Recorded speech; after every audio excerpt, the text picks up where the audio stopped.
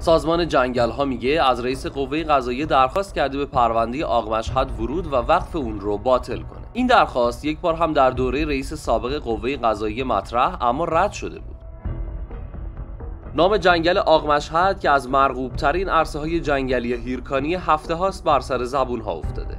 آق مشهد روستایی در 35 کیلومتری شهر ساریه که امامزاده حارس در اون قرار داره.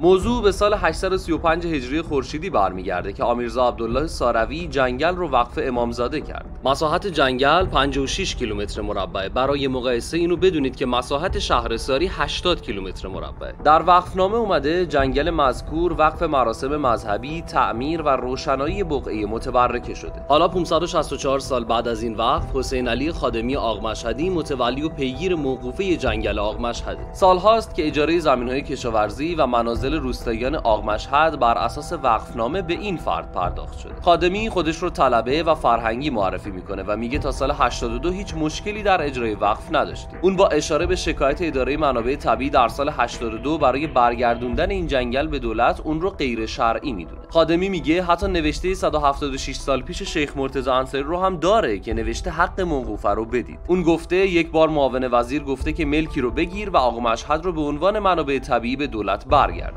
اما به اون گفتم این پیشنهاد برجامی تحمیلی رو قبول ندارم و شرعا درست نیست. خادمی میگه خیال می‌کنن اینجا عراضی فلسطینه که باید به هر قیمتی از دست من خارج کنن. اون درباره اعتراض ساکنان روستا هم میگه برخی معتقدن اینجا ارث پدری اونهاست و نباید اجاره بدن. خادمی میگه وقف ارث بردار نیست درگیر این جفسازی ها نمیشیم و نباید به دام این توطعه بیفتیم.